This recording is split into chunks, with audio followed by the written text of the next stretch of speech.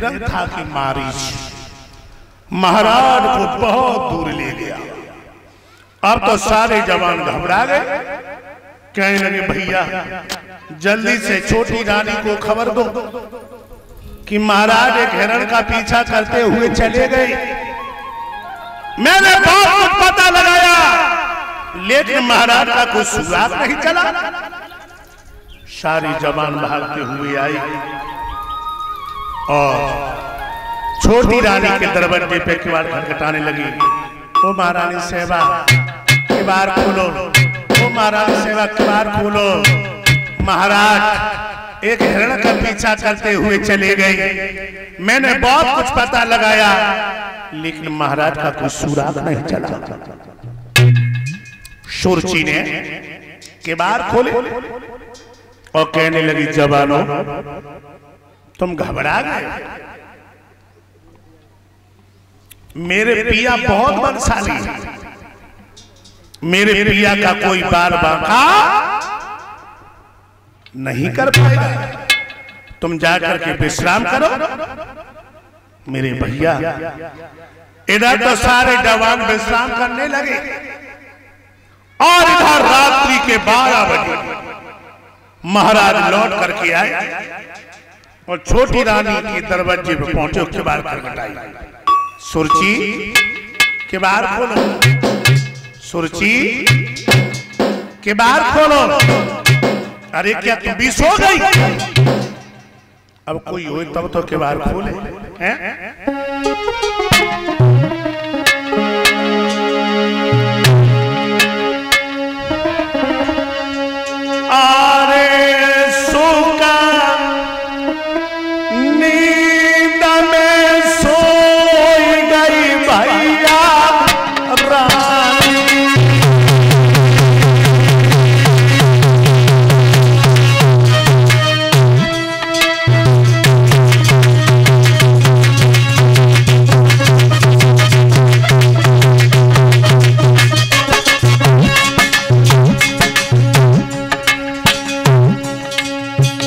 सुरची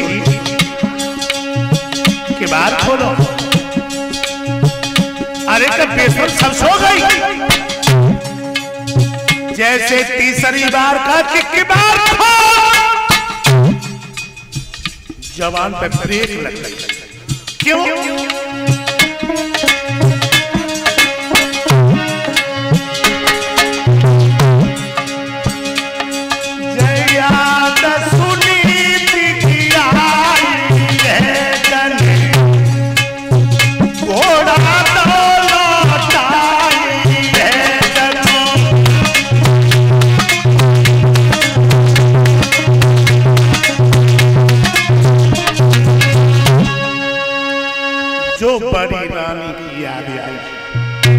आज घोड़ा को लौटा। और बड़ी रानी के दरवाजे पे पहुँच गए के बार खटखटाई सुनीति के बार खोलो। सुनीति के बार खोलो। अरे, क्या तुम भी सो गई? के बार खोलो। धीमे धीमे कह रहे ऊपर वाली नानी न जग जाए। लेकिन रानी ने तो पहली आवाज़ में सुन रही कहने लगी पिया आज मैं किबारों हमको नहीं खोलूँगी। आज मुझे मालूम पड़ रहा है। तुम सौतन के कहने पर मुझे मारने के लिए आया। महाराज कहने लगे ठरगरी के बार खोन दे। सोई समझ गई कि मेरे पिया सौतन से छिपके आया सौतन से छिपके आया के बार खोले। और अपने पिया के चरणों की रज अपने माथे से और टकटकी लगा के देखने लगी कहने लगी साजन जब तुम मेरे साथ में रहते थे तुम्हारा चेहरा चंद्रमा की तरह से दमकता था। अब चेहरे पे चूड़ियाँ पड़ गई हैं। बाल सन की तरह सफ़ेद हो गए। क्या बात है? महाराज कहने लगे गोरी क्या बताऊँ? दिल के कुछ उदगार उन्हें मैं रोक नहीं पाता। और बिना कहे अब तेरे दूल्हा पर रहा नहीं जाता। ही रानी मैंने तुम्हें कितना समझाया? पूरी रात तुमने मुझे सोने नहीं दिया। हमने कहा था कि शादी मत करवा। आज छह महीना के बाद मैं तुम्हारी सूरत को देख रहा रानी सुनीति कहने लगी स्वामी तुम हमसे दूर नहीं हो। हमसे दूर नहीं हो। पतिव्रता कौन होगी? पति कहीं रहे। पति कहीं रहे। कितना मीठा जवाब दिया। पिया मन भाए सुहागिन बही है। और दिल से उतर जाते भागिन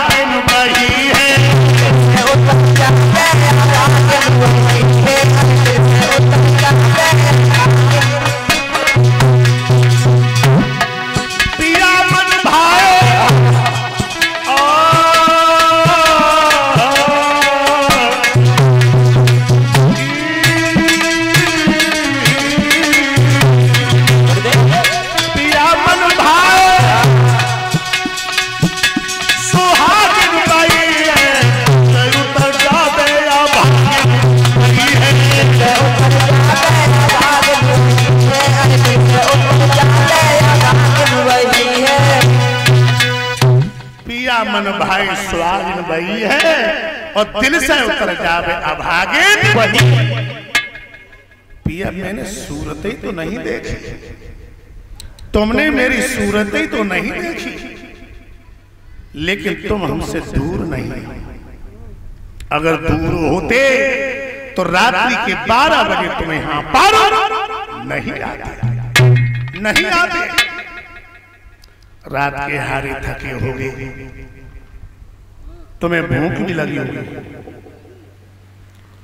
लेकिन जब गरीबी के पास कुछ है ही नहीं, जौ की रोटी एक है, वो भी सब्ज़ी नहीं है। महाराज कहने लगे, चल पागल, एक रात हम तुम बैठे काट लेंगे। उंगलियाँ पकड़ के ले बाहे गई टूटे भाई, खटोला पे बैठा दिया जौ की रोटी, उसी पे नमक रख लाई। महाराज को प्रेम से खवाई। भक्तों, जो छप्पन प्रकार के व्यंजन सुरुचि बनाती थी, उन भोजनों में स्वाद नहीं था, जो जौ की रोटी में महाराज को स्वाद लगा। घड़ा को ठंडो नीर पियो मैं टूटे हुए खटोला पे लेटा लिया पैर दबाने लगी। दोनों में इतना प्रेम प्रभाव बढ़ा। ये ही नहीं मालूम पड़ा कि कब सवेरा हो गया। तब तक घड़ियाल घंटा में चार बजा दिए।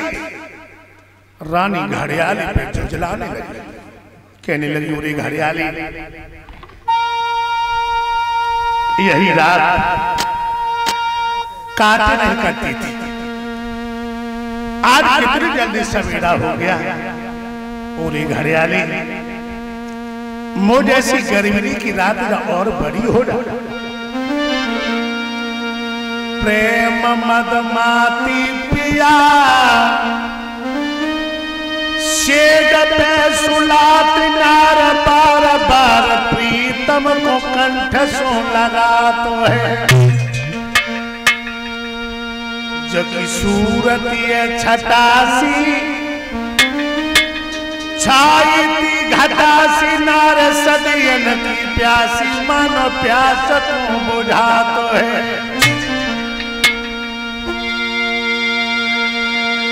एक बजे की दो बजे तीन जब बजन लागे। चार बजे रानी घर आने पर झुझला तो है।